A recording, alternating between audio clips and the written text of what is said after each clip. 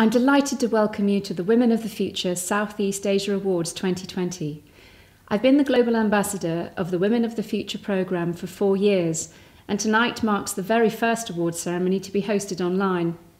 Although, of course, we would far prefer to be together, celebrating in person the tremendous achievement of all the candidates we are honouring tonight, it is nevertheless a wonderful opportunity to connect virtually across all corners of the globe.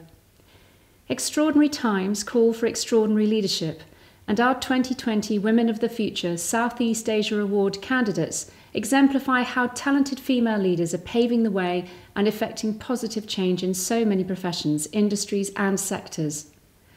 I'm hugely inspired by your work and the way in which so many of you are shattering stereotypes and inspiring the next generation of women across Southeast Asia. Now, more than ever before, when it can feel that challenges are insurmountable, or when our traditional communities and support structures have been shaken, we need to find ways in which to connect, learn from each other, and collaborate on a local and global scale so that we support this generation of female leaders and the next. Enjoy this evening, everyone. We celebrate you all for your work, your passion, and your tenacity to pursue what is often the road less travelled. Congratulations.